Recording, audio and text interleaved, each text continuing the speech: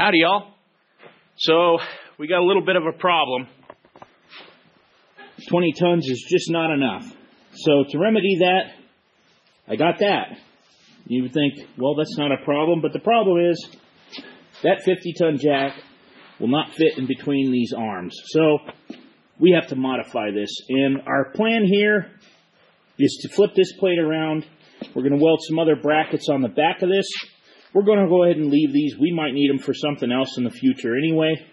And rather than cut them off and go through all that trouble, all we need to do is flip the plate around and use this side. And before I get going, please do remember to like, share, and subscribe. Hit the notification bell so you can see when new videos are uploaded. And uh, let's get started. Of course, everybody's got a scrap pile out in the back, and I'm no different. But I got this really nice piece of half inch angle iron. That was used for some other purposes before, but we're going to cut our pieces out of this. And I know what you're thinking. Yes, we just made the puller in the last episode. And yeah, we're thinking the same thing. It's incredibly frustrating, but we'll get it right this time and we'll make it big enough that we can get the 50 ton in there. And hopefully we got some resolution in this video. For those of you that might think we didn't have enough pressure on there, it definitely bent this bolt. Now, granted, this is not a grade 8, it's not even a grade 5 or a grade 2, uh, but that's still a big bolt, and we had pressure on it. It did bend. I got some grade 8s to go in it next time. And we just found the center of this, and we're going to mark it with the compass to make sure that we don't encroach on the area that that jack is going to need to be. Well, there's three of our six new brackets right there. All right, let's see how straight you can settle, man. Yeah, well, I never claimed to be a good welder or torch man.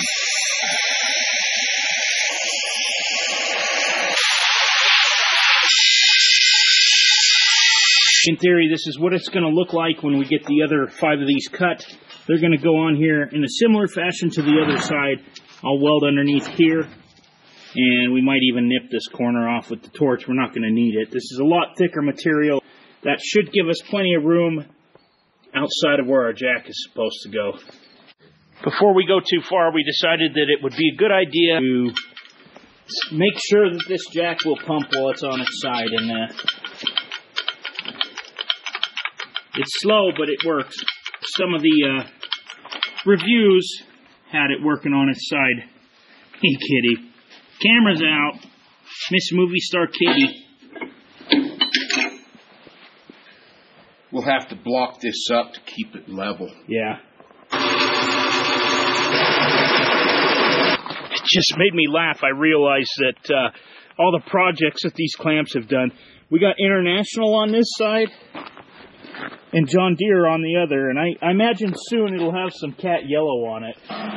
Yeah, this is serious deja vu. I'm doing it all over again, but um, I guess that's how these projects go sometimes.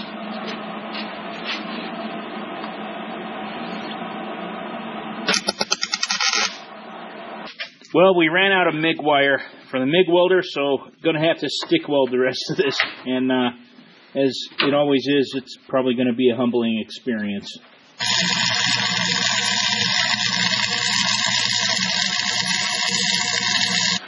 All right, let's tack weld this one down.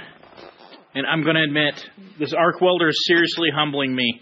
So don't look at those welds. I've actually thought about blurring them out. They're that bad. But uh, I got lazy with the MIG welder. There was a time I could do pretty well with the buzz box, but today's not that time. So we got super frustrated with the arc welder, and I actually made a ride to town to get some MIG wire so we could finish this up. And yeah, we rushed it, but this has turned into quite the Frankenstein of a puller and there's a few pounds of weld on this thing, so hopefully it works. Our suspicion is that this plate being AR400 and welding the mild steel to it, and a combination of rod that's been sitting in the cabinet here for I don't know how long, and the fact that I got spoiled by having a MIG welder, yeah, I need to practice with the arc welder quite a bit more. The puller has gotten so ridiculously heavy that we have no choice but to move it with the crane. this is dumb. What are we doing? I don't know.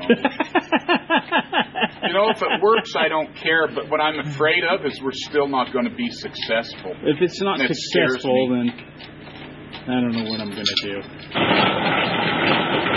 I really do think we were actually just saying that probably been a, a lot less work if we would have just put heavy grease in here and topped it off once in a while. But do it once, do it right.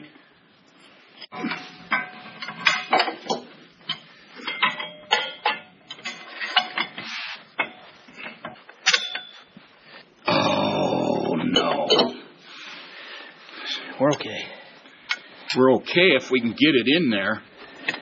You know what? We're going to have to take that one arm off.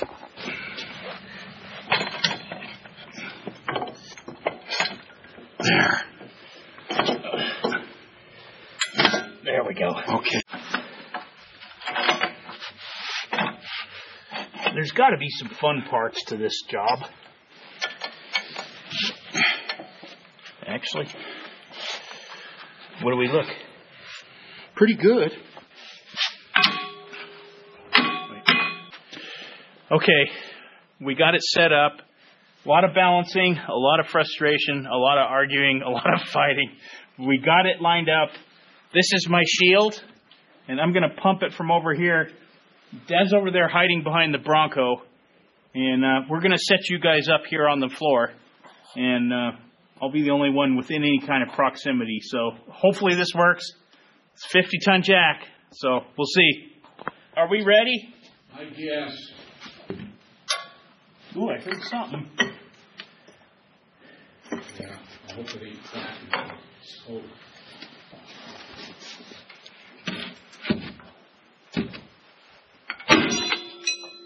Something popped. Yeah.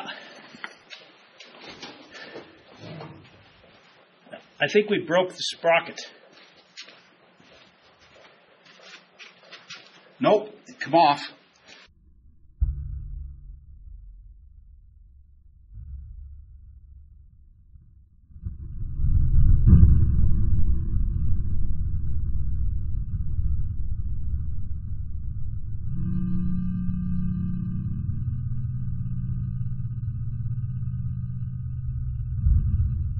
We got it off? Yeah.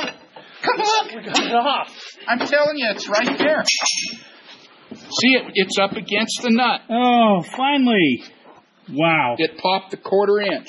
Oh, I saw this grease on here and I thought it c- No. was cracked metal. That's just a spacer. It goes. See these holes?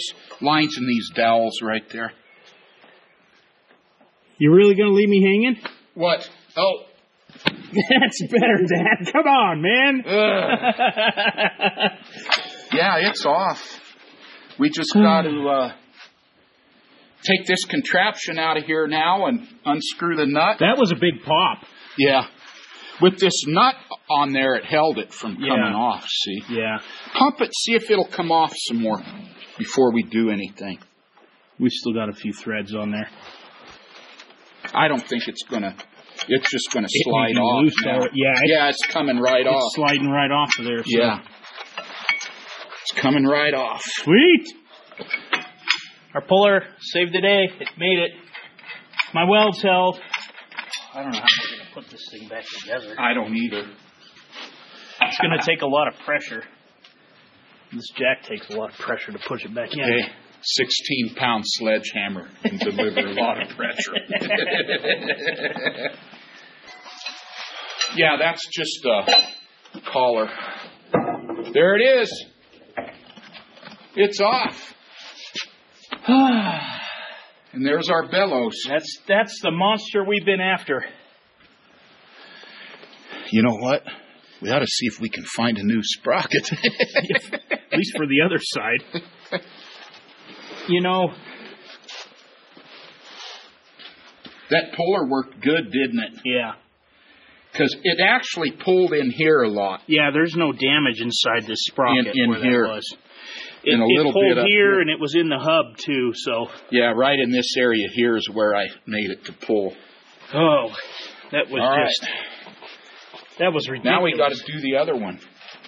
Yep. We know it'll do it. Yes. Yeah. We know it'll do it. It. I think one of my viewers said that it would pop at 25 tons. What do you think we were at? I don't know. You were on I- the handle. I was on the handle and I had a cheater on it, and that's a 50 ton jack. Well, let's so roll this somewhere out I- of the we road. were probably, and this is Um, just a wild a wag, but I'm going to say that this was probably 30, 35 tons. I'd say you were Maybe up in 40? the, in the 40 range. Yeah, but it's not going to go Um, back on that much.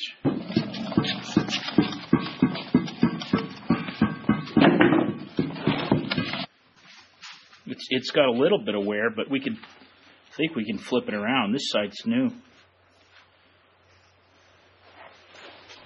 One down, one to go. Okay, first I need to block that one up. Our bolt's ready. Do you have that half inch spacer? Are we centered? I could probably bring this one up a little.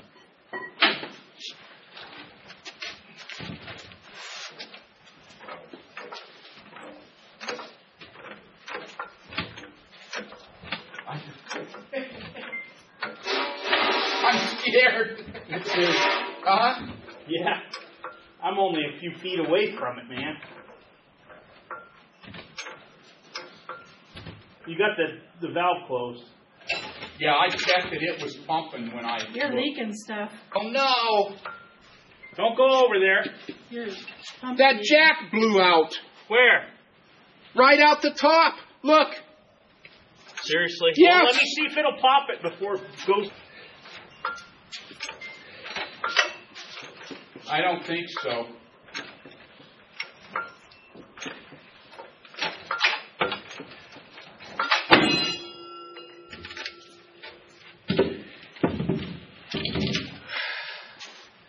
Yeah, She popped it. Yeah. It was Jack was good for for two two One two time poles. use jack. Uh,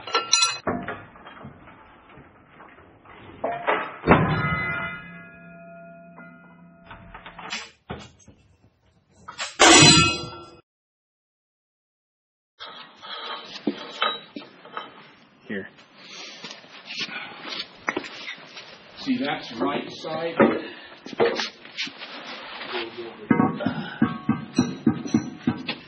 What a Frankenstein contraption this is. But it works, and the welds held.